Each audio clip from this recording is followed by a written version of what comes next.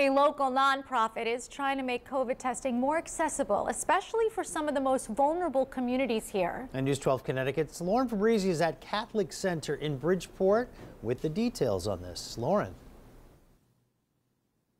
Rick and Annalisa, Catholic Charities of Fairfield County is teaming up with the Diocese of Bridgeport here to distribute thousands of at-home COVID tests. Take a look. Catholic Charities just got a shipment from the state.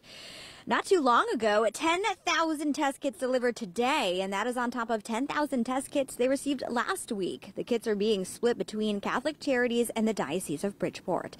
Catholic Charities is handing out the tests through their programs, like when folks come to their soup kitchens and food pantries. And the Diocese is giving the test to their parishes with a significant amount of test kits going to inner city parishes. Catholic Charities Executive Director Mike Donahue says these distributions are possible thanks to the state and their longtime partnership with the diocese. It's so difficult to think about people standing out in the cold waiting to be tested uh, or not being able to be tested at all. And thanks to the, to the governor and the shipment, I think this is going to make a big difference, especially for the most vulnerable people across the county. All right, well, those in need of a test kit are being asked to contact their parish or one of the Catholic Charities programs only if they have had a COVID exposure or are showing symptoms in Bridgeport. Lauren Fabrizi, News 12 Connecticut.